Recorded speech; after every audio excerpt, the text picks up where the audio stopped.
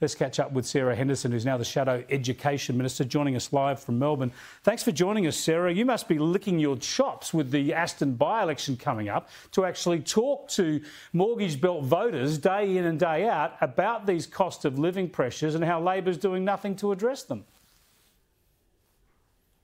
Well, Chris, good evening and absolutely wonderful to join you. And absolutely, uh, we know that uh, for the people of Aston and frankly for all Australians, the Albanese government has no economic plan. Cost of living is going through the roof. And frankly, uh, Labor is just concerned about its own pet projects. Uh, the people of Aston have a real opportunity to send a very strong message to Anthony Albanese. He's broken a myriad of promises, including, of course, the $275 uh, lower electricity prices that he promised would be delivered. Uh, that clearly is a broken promise, along with uh, a whole lot of other broken promises, uh, including on education, I should say, Chris. Uh, this is a government that is dragging Australians down week by week.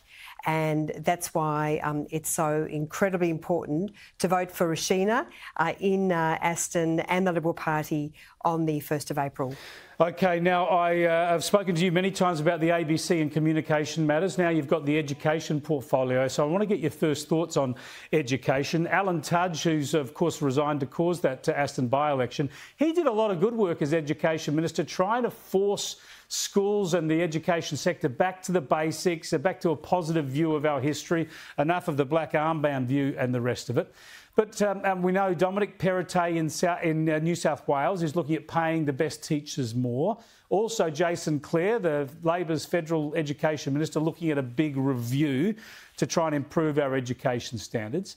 It's very difficult to change this stuff from the federal parliament, isn't it? Because it's mainly the state governments that control what happens in our schools. What would, if you could do three things to improve school outcomes in this country, what would they be?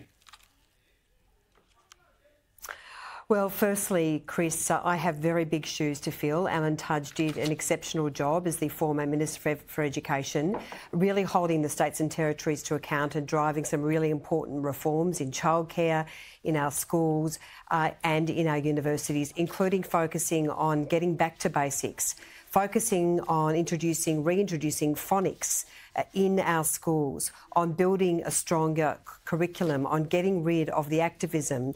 And of course, that's a stance that I have taken since I've become the Shadow Education Minister. Uh, parents want education in the classroom, not indoctrination. And despite uh, an enormous increase in funding over some two decades, we are seeing a slipping of standards in our schools.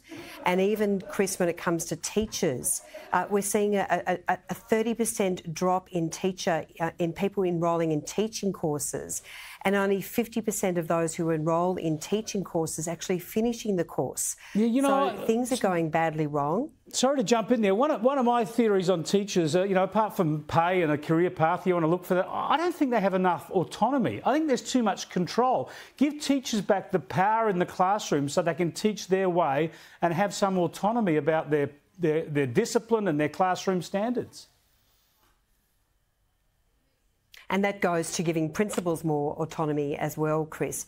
I, I, look, I've raised the example in Senate estimates. I raised it again today in my address to Universities Australia. We've seen, for instance, some states have dictated that teachers should only teach the yes case on the uh, voice uh, to Parliament.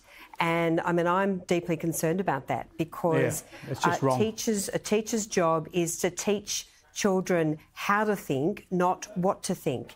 So we really need to dramatically see uh, standards improve. And while I welcome the reviews, and there's not just a review into the school reform agreement, but also the University Accord and the Productivity Commission review into childcare, I am worried that Labor is driving a review vortex. Already, the Australian Education Union has raised concerns about Labor's commitment to deliver additional yeah. funding to schools, which has now been put on the back burner. Well, as you so, outlined, look, we, there is we, a lot of hard work to do. Yeah, we know the issues. Just get cracking rather than having reviews. Good to talk to you about this stuff, Sarah. We'll keep on it because I think people are really, really focused on improving these education standards. Appreciate your time.